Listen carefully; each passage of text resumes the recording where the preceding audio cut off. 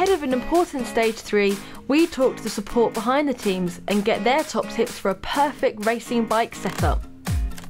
So, uh, Voxwomen have asked me just to do a short um, talk on how to adjust your brakes. First thing we're going to look at is the fact that you have this little lever on here. Now, one of the most common things that we tend to find is that people turn up to an event or to a ride and they have this little lever open. And the problem with that, it makes the brake really, really spongy. So if we flip that lever down, it actually tightens it up. Second thing you can do as well to make an adjustment on the brake is you have this little barrel adjuster on top of the actual brake caliper itself. This one can be wound either clockwise or anti-clockwise to actually loosen or tighten the brake. If you wind it anti-clockwise, it'll push the brake pads closer to the rim. If you wind it clockwise, it moves the brake pads away from the rim.